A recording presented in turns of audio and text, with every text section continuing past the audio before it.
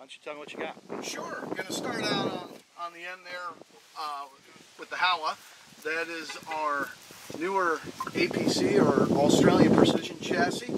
Uh, that one was a special for fourth quarter of last year in our American flag and literally we cannot build the things fast enough. That has been one of our most popular products without a doubt this year. Package with the scope? That is actually a complete package as you see it. 30 millimeter? Nikko Stirling Diamond Long Range yeah. 4 to 16 power illuminated reticle scope, side focus, dual color, bipod. Uh, it's an MT Industries muzzle brake up front. It's a EGW 20 MOA rail that the scope sits on. Uh, it's in the Howa hard case with a Frog Lube accessory pack. MSRP is $15.99. That's quite the package that competes with a lot of the new ones that look kind of like that. Yes. we are offering it in various calibers 223 6.5 Creedmoor 308 we even have some 243 offerings varying barrel lengths of 20 24 and 26 inch. Wow.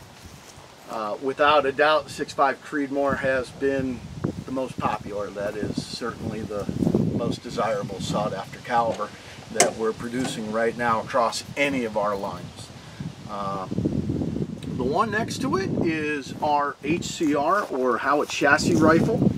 Uh, primary difference on that one next to the APC. First starting off with the stock. They both utilize a Luth AR style stock, six position. On the HCR there, that is a MBA 3 style versus the MBA 4 on the APC. Primary difference being is that the MBA 3 has a finite adjustment for length of pull uh, as well as lateral movement on the recoil pad for uh, shoulder pocket fit. Um, moving forward is where the primary difference comes into play. That chassis uh, is a full billet machined aluminum uh, that we did in conjunction with Accurate Mag. So that takes any standard AICS compatible magazine where the APC utilizes our proprietary Ammo Boost magazine. Coming down next to that is our new KRG Bravo. In the black stock on the cover of our catalog this year is the KRG as you see it. We're offering it also in a tan stock as well. That is a full aluminum spine that runs down, fully free-floated barrel two-piece KRG stock system. Kind of a ambidextrous setup with a more of a vertical down grip posture. Um, once again, standard AICS compatible magazines on that as well.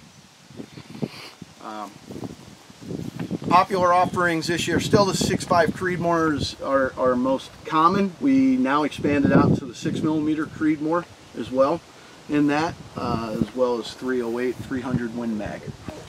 Uh, coming down next to that is our GRS uh, rifle.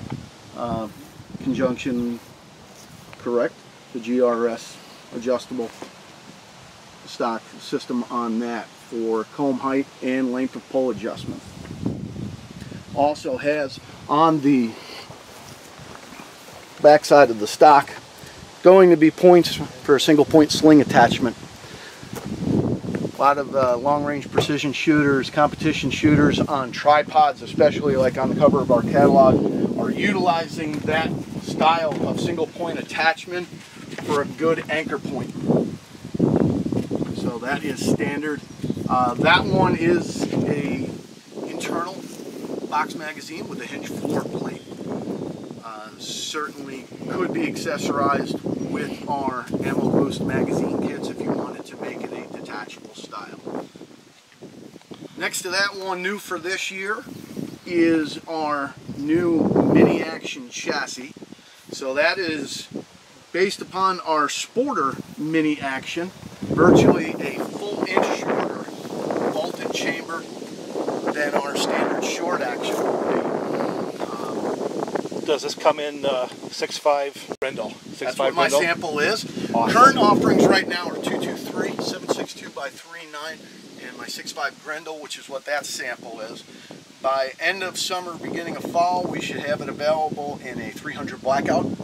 uh, which will be a 16 inch barrel configuration only.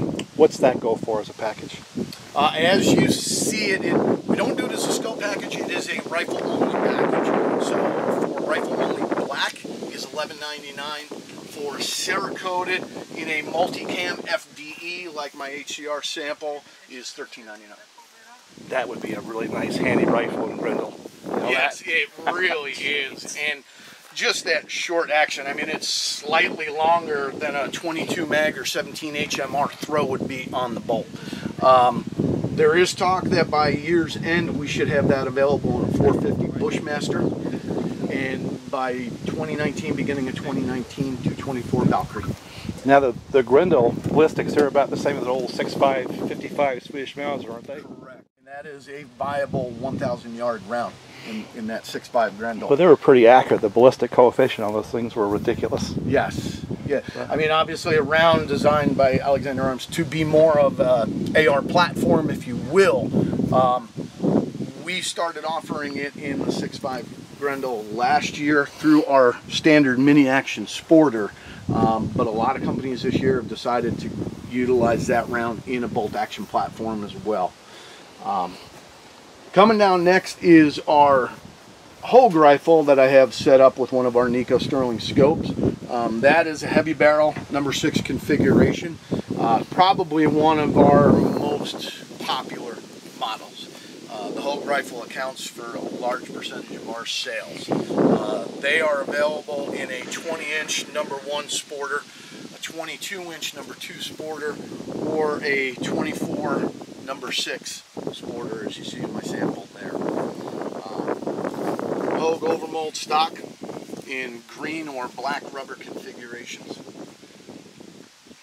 Uh, coming down next to that, one of our specials is the Cryptic Full Dip. We actually own our own company, RCH Reno Cerakote and Hydrographics. Uh, they do all of our Cerakoting, all of our dips. So that is something we control in the factory in-house in Reno. So they do the Cerakote or do the dip, move it to the next part of the factory where it is assembled. For us, everything in the Howa line starts as a barreled action first. And then depending upon what stock configuration it is going into, the gunsmith then pulls the appropriate parts that are necessary to put it all together, assembles it on the bench, boxes it, and sends it out. Um, this is my mini action sporter sample. That is a package as you see it with the Panamax. This one happens to be in a 223 uh, with the 22 inch number two sporter. Great, great little round. Um, especially for women and youth, it is the perfect action and, and caliber offerings in that.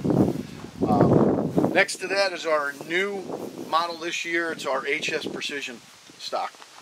Um, the sample I have shows our kind of standard configuration of a 22 inch number two pretty much all standard short and long action calibers. Uh, we do offer it in two Magnum calibers of a 7 rem and a 300 Win Mag as well. Makes it a 24 inch barrel configuration.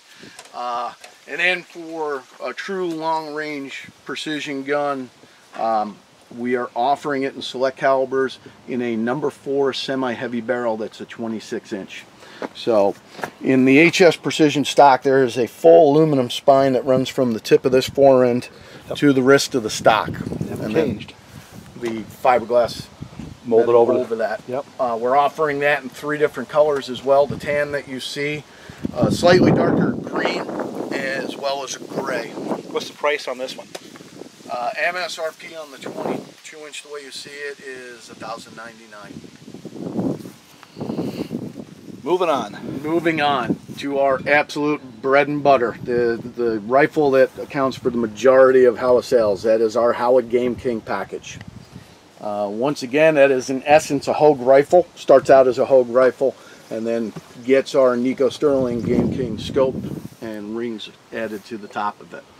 Um, available once again in all standard short and long action calibers, uh, black or green stock. Coming down from there moves us into our Lithgow Arms line of rifles, lines from Australia. Um, Lithgow has actually been producing military Enfields for the British and Australian government since 1912. In 2013, they decided to kind of get into the civilian market. So on the 101st anniversary of the company, they introduced the LA 101, the rimfire series, 22 long rifle, 17 HMR, which is what my sample is, and a 22 Magnum. Available in both a black synthetic or laminate stock. A year later, they decided to get into the LA 102, which is a center fire line. Uh, the one sample I don't have new for this year is the LA 105 Woomera. That is our long range precision Lithgow in a KRG stock. That's a nice looking gun. Yeah, thank you. It is a true, true piece of art. It is considered crossover series. Uh, it's a slightly heavy sporter, if you will, um, hunting rifle, yet heavy enough to be utilized as a bench rest, hence the integral rear rest hook in both the models there. Threaded cap standard, and actually even on the Howa line now for 2018 and beyond, anything that we offer in a number four or a number six heavy barrel automatically comes threaded cap. I do notice you have some bridged scope mounts. I'm sorry? I do notice you have some of the bridged scope mounts. Yes. Uh, standard for us now is in the EGW line that you're seeing in the blue model, um, in a zero MOA or a 20 MOA. Short action, long action, and even our mini action, which is what I have for my sample there. So this is part of your accessory line? Yes, through that one on the on the stainless model is a Nikko Stirling line that we were offering in one piece. Um, we do have what we call zero lock integrals now, like you're seeing on the full dip, that utilizes an integral base and ring in one inch and 30 millimeter. Yeah. Uh, our diamond series of scopes, like you see set up on my APC or here on my Howa, or the uh, Hogue Heavy Barrel, always utilizes a 30 millimeter tube. So Versus the one inch. both. And then there are one inch available. Um, Target Masters. correct in the Target Master, uh, in the Panamax line, which is the standard scope on the um, mini action. That would be a one inch as well. The Mount Masters that I have set up on some of them are also a one inch. You want to give a pitch for 30 versus the one inch? Certainly it comes down to light, uh, light gathering capability. That 30 millimeter tube certainly gathers a little bit more light. Do you get a little Um, more range? Yeah, you do. You're you're opening up your field of view, but most guys are looking at that as certainly a light gathering capability. Your objective is a key part of that, but you can kind of narrow down, minimize your objective size by opening up the tube diameter. So that's why we don't need to go as big in an objective on our Diamond Series line Because of the because it's a 30 millimeter tube. range of view? Uh, it should be, I believe, it's a 60 minute uh, of angle, full range For, in okay. elevation and windage. Yeah, like 70 is loophole territory. 120 is crazy. Yeah. And actually, this year on uh, which sample do I, I think I have it set up on my HCI? I want to say no, on my KRG. We are offering this year a first focal point scope model. Uh, as you know, probably most scopes that you're going to encounter I'm are thinking about guns. Okay. I know chainsaws. Most scopes and most of the ones I have set up here are second focal points. That's the most common, where your uh, uh, crosshairs are going to stay static through a given magnification range. yeah, that's a scope uh, design characteristic. Yes. On a first focal plane, we're changing that. We are now changing the size of the crosshairs in the reticle through the given magnification range. Um, what that'll help do is assess target sizes, distance at given ranges. So the Howas are built in Japan. What about the scopes? On our Mountmaster series, that is Japanese components assembled in China. On our But the glass is Japanese. Yes, on our Panamax, Target Master, and Diamond series, they are Japanese components assembled in Japan. Lifetime warranty on, on any of those. Actually, on any of the Howa products, if you look at some of the tags, they are all a lifetime warranty to the original owner and a sub MOA guaranteed 100 yards with factory ammunition. They are shooters. They are definitely shooters. I don't remember how was when they were Weatherbys, and then I remember when they were They are Smith the and only Wessons. other company that is legally allowed to use a Howa receiver action is Weatherby. That's what's in the Vanguard. Coming down through, I have a couple of my escort shotguns on display here. Our M87 series pump action, and next to that are Supreme Magnum semi-auto. Full gas operating system here on the Pointer series next to it uh, is our 1000 series field over and under. Uh, that's available in all standard 12, 20, 28, 410 gauges. Uh, and actually, I have to get it out now that just see that. Uh, we also offer a brake action single shot in that line as well as semi-auto. Coming down then to our Citadel line of 1911s. Um, these are all basically a Colt Series 70. Uh, They're made in the former Colt plant in the Philippines. Oh my God. They are available in either a full size or an officer size and in a 9 millimeter or 45 ACP. One of the ones that we did special for this year again and in along with our APC American flag is the American flag 1911. We're currently doing that in our 9 millimeter and our 45. Comes with an upgrade of the G10 grips. Still has the original wood grips uh, included in the case. MSRP is 950. That's not a bad price. Beaver tail. You can't see the hammer, but it's got a skeletonized hammer. Correct. Skeletonized hammer, skeletonized trigger, fully adjustable. Any idea of what kind of trigger poundage pull? Roughly, most of mine are breaking in that four and a half to five pound range. Wow. Very nice stuff. Thank you. Is there any tech geek uh, questions that I should ask or these guys should ask? Yeah, I mean, one of the probably the thing I find the most that most people don't know about our product um, comes down to the bolt design itself. Okay, we are utilizing a long M16 style extractor on the bolt. All Howa bolts are a toolless takedown That's awesome. for cleaning purposes. Um, the bolt handle itself is actually machined into the body of the bolt. It is not welded or added on later. Therefore, that bolt handle actually, in the battery down lock position, acts as a third locking lug in conjunction with the two lugs up front. There are three vent holes machined into the bolt body itself. That is meant in the case of an overpressure primer blowout to vent the pressure down into the magazine well instead of out the back of the bolt body. And for any of us who have experienced a primer blowout like I have, caught primer pieces into your I was face, to say, you still got No. your eyes. we know that safety glasses always. All of our Howa products utilize what we call a HACT or Howa actuator control trigger group.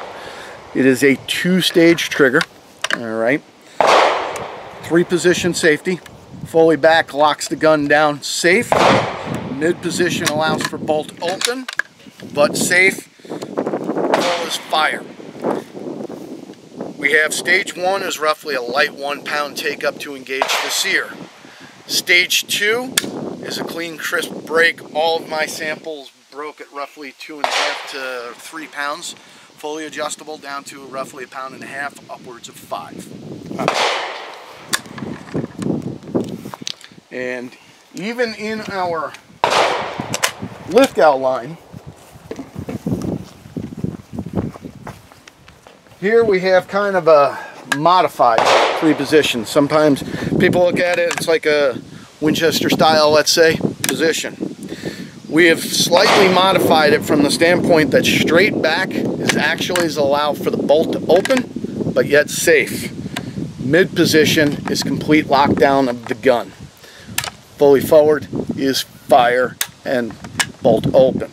Reason being, we didn't want somebody to accidentally blow past mid position on that one and accidentally discharge thinking it was safe. Um,